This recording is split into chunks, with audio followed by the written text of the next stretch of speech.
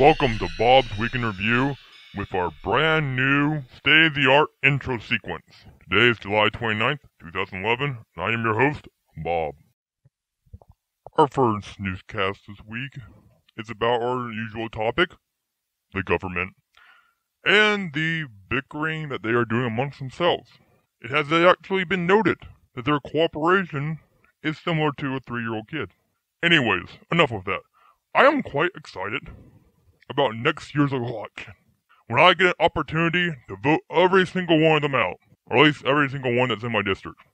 But nonetheless, an opportunity, a thrilling excitement that we should all take part in. And I don't know how to finish this statement. The end. This past week, researchers at the University of Oxford have discovered something that we robots have known for years. And that is, tequila is a wonderful biofuel. The researchers did not go in detail of how much or when we could expect tequila fuel pumps, but I am getting excited just thinking about it. And for Nintendo fans, the 3DS price has been slashed, coming down from $250 a unit to only 170. A great bargain.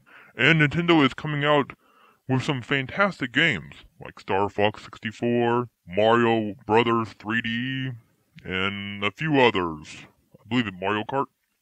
My question is, why are all these handheld systems from Nintendo always going back to the 60 Nintendo 64 version games? Are they lazy? Can they not program anymore? Do they just have to scale down the screen size and call it quits? And finally, we come to some fluff news for the end of our program. Netflix doesn't give a damn if you don't like their pricing scheme. They are on a mission to kill the DVD. More power to them on that quest. Most people have already moved to Blu-rays. But you kill that DVD, Netflix. You kill it. Also, in China, there is several Apple stores popping up everywhere. They're fake. With possibly fake merchandise inside. Well, that concludes our program for the week.